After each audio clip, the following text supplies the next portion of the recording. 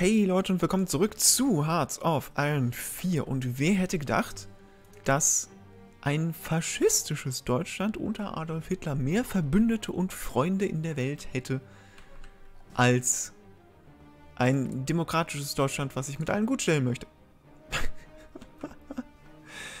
Ey, jetzt echt, das, dieses Let's Play, das, ja, das erstaunt mich immer und immer wieder. Oha, oha, oha, hier geht mal wieder was ab. Da tut sich mal wieder was. Aber wirklich viel tut sich da nicht. Ich meine, ja, sie kämpfen, aber... Warte mal, wie viel Mannstärke hast du noch? Oh, du hast wieder aufgefüllt.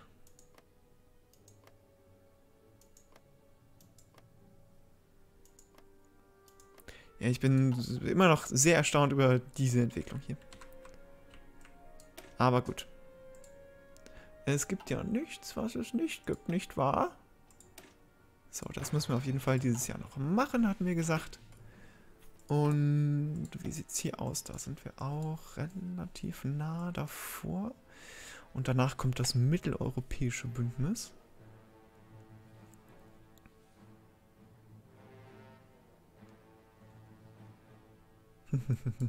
Und ich hoffe, wie gesagt, immer noch, dass wir die USA auch dazu bewegen können, da mitzumachen, obwohl die USA nicht wirklich mitteleuropäisch sind und auch im Moment nicht wirklich dabei sind, irgendwie Andeutungen zu machen, kriegerische Handlungen unterstützen zu möchten.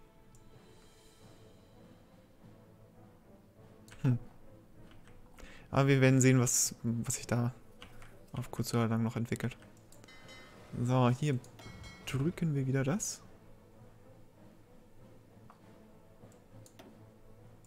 Wird eigentlich an unserem Flugzeugträger schon gebaut? Ja. Ja. 12. September 39 ist er fertig. Also in ungefähr einem Jahr haben wir unseren ersten Flugzeugträger. Das Problem, was wir dabei haben, wir haben absolut keine Flugzeuge, die dafür irgendwie in Frage kommen würden. Oh, und wir haben gerade schon Flugzeugträger rum von 36.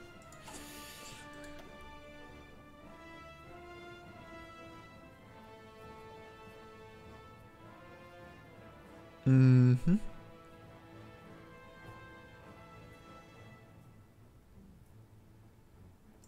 Ja, komm.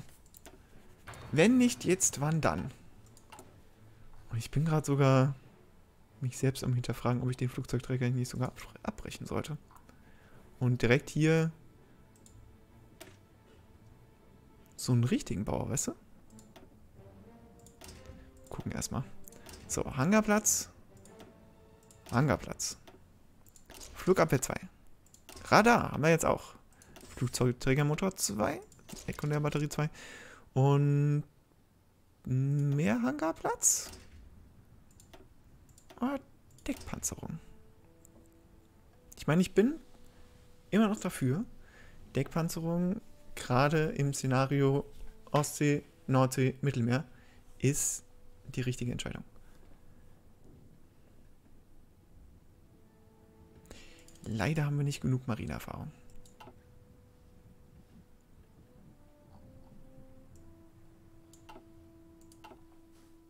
Können wir euch hier nochmal üben lassen. Kriegen wir dann 30 Erfahrungen zusammen. 30 Marineerfahrung. Das wäre sehr geil. Ja, wir haben absolut nicht genug Treibstoff. Ach du heilige Scheiße. Treibstoff für sieben Tage. Yikes. Da kriegen wir keine 30 Marineerfahrungen dazu. Also bis 30. 30 an sich kriegen wir auf keinen Fall. Also bis 30? Nope.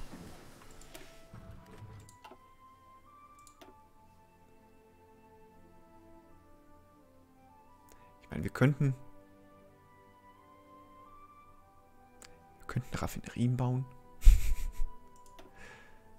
könnten wir mal machen.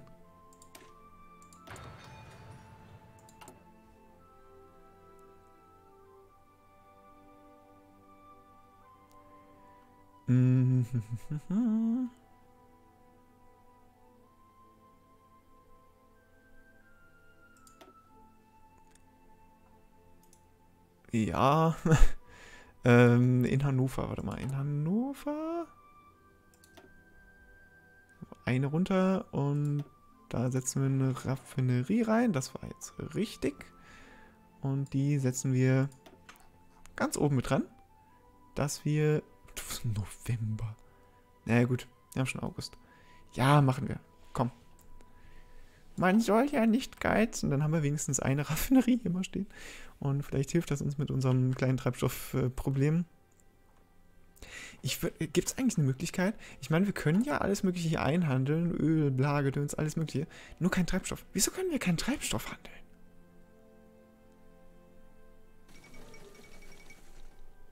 Hm. Es wundert mich sehr. Die vierte Internationale. Ja. Ja. Ja.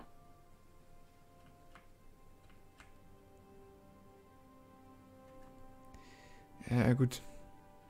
Es bringt jetzt auch nicht wirklich, euch da noch weiter üben zu lassen, wenn wir sowieso da nicht wirklich was machen können. Okay. Mitteleuropäisches Bündnis. Es geschieht. Nachdem wir die Aufmerksamkeit des Kontinents auf das Problem gelenkt haben, müssen wir nun die Lösung bieten. Wir werden ein Bündnis für alle kleinen Nationen in Europa anführen, das Schutz gegen diese tödliche Bedrohung unseren, unseres Lebensstils bietet. Okay. Polen. Bitte nicht. Oh. Okay, sehr gut, sehr gut, sehr gut.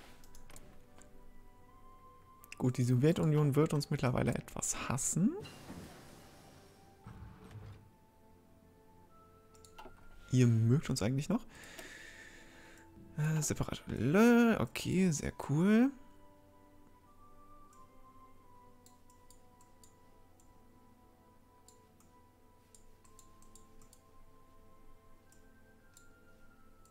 Hm. Habe ich sonst noch was, was ich 38 machen müsste.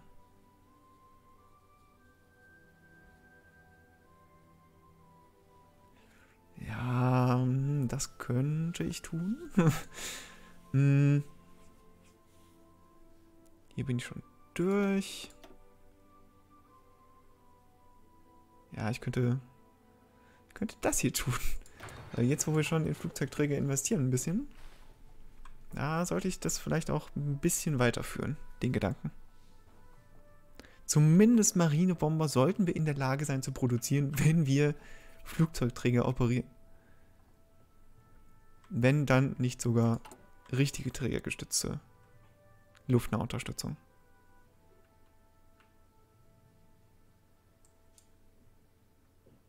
Fünfzehn erhalten wir durch Handel. Baugeschwindigkeit, ja, ist schon, ist schon ein Unterschied bei der Baugeschwindigkeit definitiv zu spüren durch den Freihandel im Vergleich zu vorher. Ja, die Frage, die sich mir halt echt stellt, ist, wer, gegen wen werden wir alles kämpfen? Weil guckt euch das an. Frankreich ist jetzt so gut wie schon dabei, faschistisch zu sein. Die werden dann vielleicht noch in ein Bündnis mit Italien und Spanien eintreten.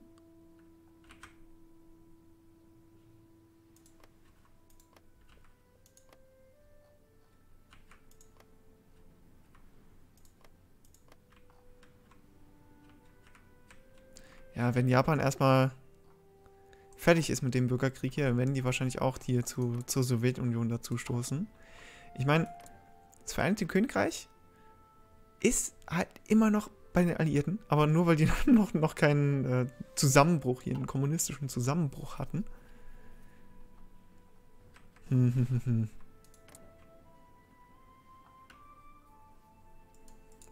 Und die große Frage ist halt auch, die USA wird sich erstmal lange Zeit neutral halten. Und weil Pearl Harbor, denke ich mal, nicht passieren wird, werden die auch keinen wirklichen sofortigen Anreiz haben, in irgendeinen Krieg einzutreten. Das heißt, die Entscheidung, ob sie jemanden den Krieg erklären, müsste eigentlich von denen selbst kommen. Und da sie uns ja nicht den Krieg erklären können, weil wir auch demokratisch sind, wäre wär die Wahl im Grunde genommen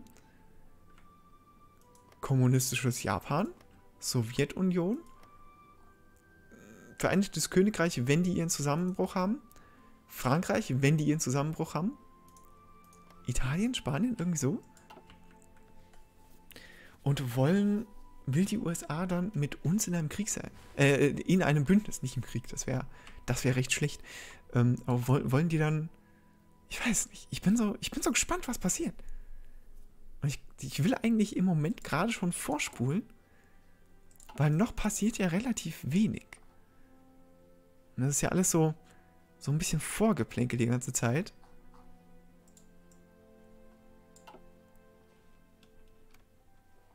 Meine, wir können jetzt mal auf Stufe 5 stellen, aber Stufe 5 ist halt, ist halt immer ziemlich anstrengend zum Gucken, weil es, es ist halt immer sehr framey.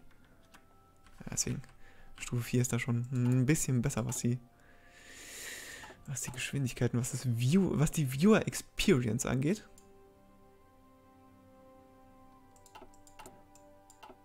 Ist halt echt im Moment passiert so gut wie gar nichts. Okay, wir haben trägergestützte Jäger. Wir müssen sie nur noch bauen. Das ist gut. So. Haben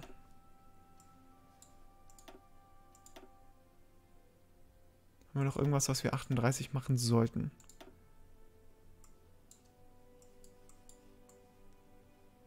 Vielleicht. Warte mal, das hier ist nur für schwere Schiffe, Schlachtschiffe, Kreuzer, hm. U-Boot, Kreuzer. Kreuzer Flugzeugträger, leichter Angriff. Leichte klar. Ja, hm.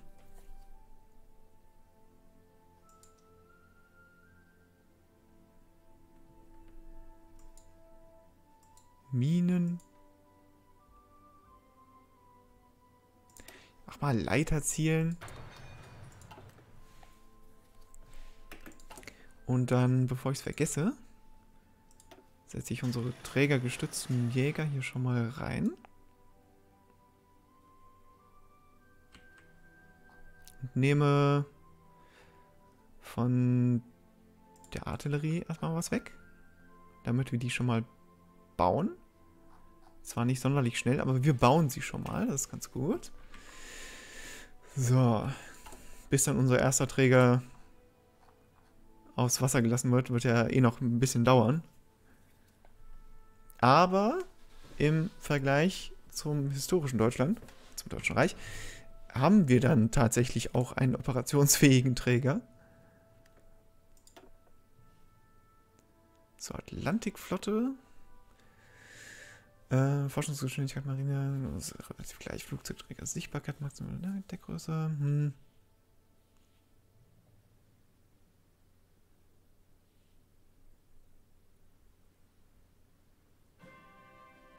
Glaube, wir wollen eher auf Geschwindigkeit, Sichtbarkeit und dafür Deckgröße Wenigkeit und äh, schwere Angriffe ein bisschen weniger bei Großkampfschiffen, aber dafür äh, alles andere ein bisschen, ein bisschen besser. Anstelle von das nur Flugzeugträger und Groß... Andererseits nur Flugzeuge...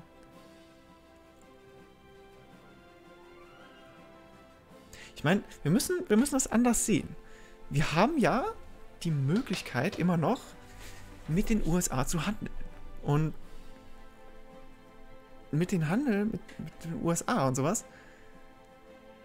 da müssen wir ja nicht unbedingt so viel auf Öl und sowas verzichten. Und dadurch, dass wir halt die ganzen Schiffswerften bauen werden, wir werden schon in unsere Marine investieren. So ist es nicht. Also es wird schon eine richtig große Flotte. Hoffentlich. Zwar nicht so, nicht so, wahrscheinlich nicht so groß wie hier, ähm, hier, da, Vereinigtes Königreich, 200 bis 300 Schiffe. Oder hier USA. Aber das, was es wird, wird schon gut werden, denke ich. Von daher, ich gehe sonst immer auf Blom und Voss, weil ist ja die, ja, historisch gesehen logischere Entscheidung. Aber Germania-Werft diesmal ist eigentlich gar nicht so blöd. Von daher, vor allem hier Flugzeugträger, Panzerung plus 50%. Machen wir mal. Wir holen uns hier die, die gepanzerten Träger. Die auch günstiger sind als Schlachtschiffe. Und dann bauen wir hier ein paar Träger Strike Groups auf. Na, ich bin, bin sehr gespannt, wo das hinführen wird. Dieses Let's Play. Es ist alles nicht so optimal. Zugegeben. Aber es macht gerade echt Spaß. Diese ganzen Theorien und oh, was wird passieren? Das schon, das schon cool.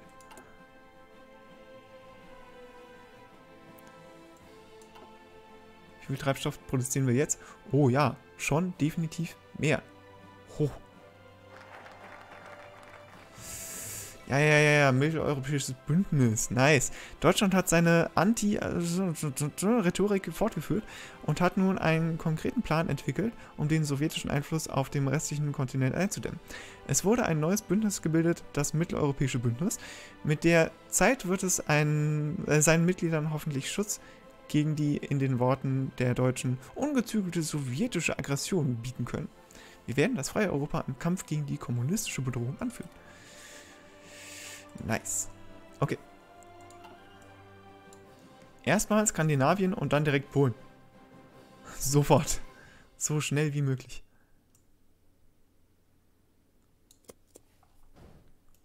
Polen, was machst du? Bitte mach noch was anderes. Mach noch was anderes. Ja, zusätzlicher Forschungsplatz. Nice. Äh, so jetzt beschleunigen Aufrüstung. Als Reaktion auf die jüngste deutsche Ankündigung, ein mitteleuropäisches Bündnis gegen die sowjetische Aggression zu bilden, hat die sowjetische Regierung Maßnahmen zur drastischen Beschleunigung mit Mil militärischen Produktion verabschiedet. Ein Sprecher des Kremls stellte unmissverständlich klar, dass die Sowjetunion nicht tatenlos zusehen könnte, könne, wie sich vor ihren Grenzen die Gefahr aufbaut. Daher seien zwingend notwendige Gegenmaßnahmen ergriffen worden. Okay. Das ist echt so ein bisschen kalter Krieg gerade. Obwohl, es ist, das wird wahrscheinlich schon sehr bald etwas heißer. Was wir, was wir jetzt machen ist, wir wechseln, oder? Flugzeugträger und Organisation, Zielerfassung, untergeordnete Trägerrolle. Nee.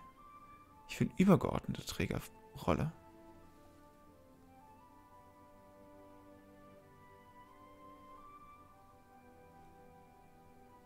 Eigentlich bräuchten wir bräuchten wir das hier. Stützpunktangriff. Nicht Handelskrieg.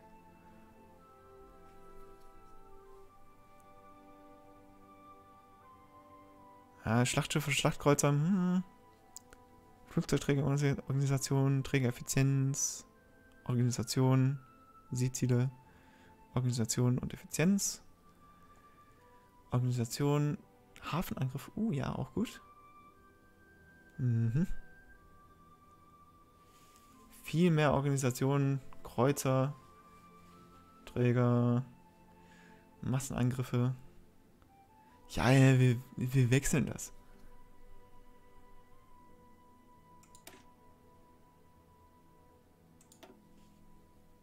Scheiß auf Handelskrieg. Was wollen wir mit Handelskrieg? Es, hm. Ja, okay, wenn wir gegen das Vereinigte Königreich kämpfen. Wenn wir dagegen kämpfen. Aber. Hm. Ah, es wird schon. Das, das wird, wird interessant. Interessant und cool. Hoffentlich cool. Aber auf jeden Fall interessant. Ähm, irgendwas wollte ich gerade noch machen. Ah, wir haben jetzt 30. Richtig, richtig, richtig. Okay. Äh, nein. Hier, da. Nein. Okay, ihr könnt aufhören. Da können wir wieder ein bisschen Treibstoff sammeln. Was ich machen möchte ist...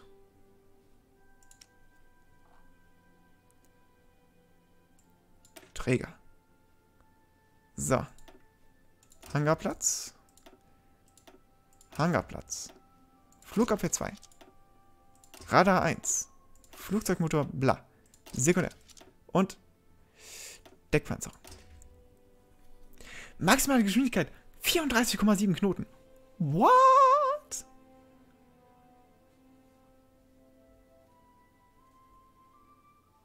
What? Das ist der schnellste Flugzeugträger aller Zeiten.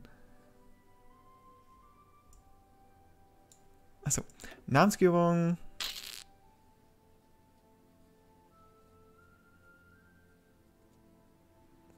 Puh. Imperiale Flugzeugträger. Okay. Machen wir. Der kostet weniger als der umgebaute Schlachtschiffrumpf. Und weniger Ressourcen. Mm, okay. Nein, nein, nein, nein. Wir wollten dich hier hochschieben.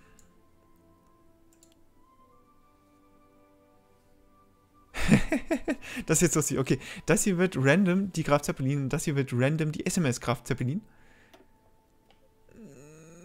How about no?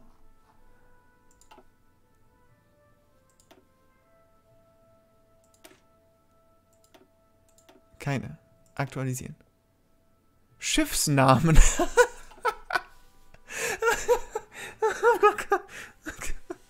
Nein, wie geil. Ist das ein Bug? Warte mal. Das ist ein Bug. Oh, nee, warte, warte, warte. Das ist kein Bug. Das ist ein Bug. Nee. Wenn wir den jetzt wieder rausnehmen, dann Ja, dann passt es. Aber wenn wir jetzt, jetzt heißt er Peter Strasser, wenn wir jetzt einfach sagen, okay, da verändert sich ja was im Code. Der Code sagt jetzt, die Vorlage hat auf einmal eine, eine andere äh, Datenbasis, wo sie darauf zugreifen muss. Bam. Dann steht hier einfach nur Schiffsnamen. Und das kann man da, das wird noch nicht mehr geändert, weil dann ist die Kommunikation zwischen Client und Datenbasis ist, äh, unterbrochen. Das ist ja lustig. Okay. Wir können unsere Schiffe einfach random Schiffsnamen nennen. Also wirklich, wirklich Schiffsnamen. Als Namen. Das ist super cool. Das ist super cool. Okay, cool. Äh, ja. Das wollen wir genauso. Erstmal. Und dann die Peterstraße. Ja, alles klar, wenn hier dann erstmal genug Schiffswerften gebaut sind, dann wird sich das Problem auch früher oder später erledigen. Aber hey, wir haben uns da ein bisschen, bisschen reingefunden. Das ist auch super cool. So, da haben wir jetzt auch das. Wir haben November 38. Das heißt, wir fangen jetzt langsam an mit der 39er Technologie. Erstmal fangen wir an mit der Baugeschwindigkeit. Das ist nämlich mit das Wichtigste, damit wir hier ein bisschen weiter vorankommen. Ja. Das wird cool. Und dann geht es jetzt auch quasi schon los. Wir bekommen hier bald schon mehr Militärfabriken, mehr Schiffswerften.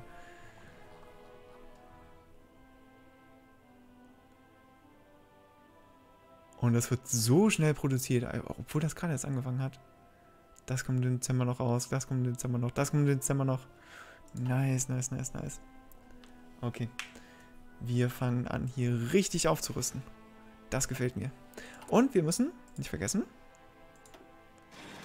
unsere Träger-Marinebomber müssen wir auch produzieren.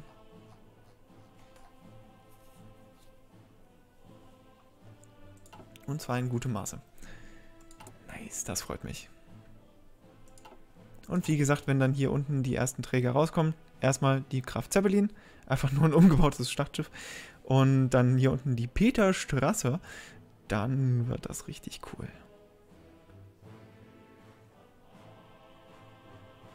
Das wird mega.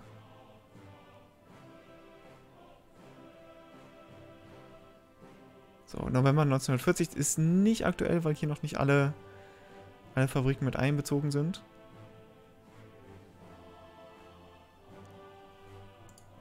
Ja, ja, ja. Oh, das wird so cool. Okay, cool. Dann wäre das dies für diese Folge. Haben wir uns ein bisschen mit äh, Flugzeugträgern und alle möglichen Marine beschäftigt. Und damit bis zum nächsten Mal. Ciao.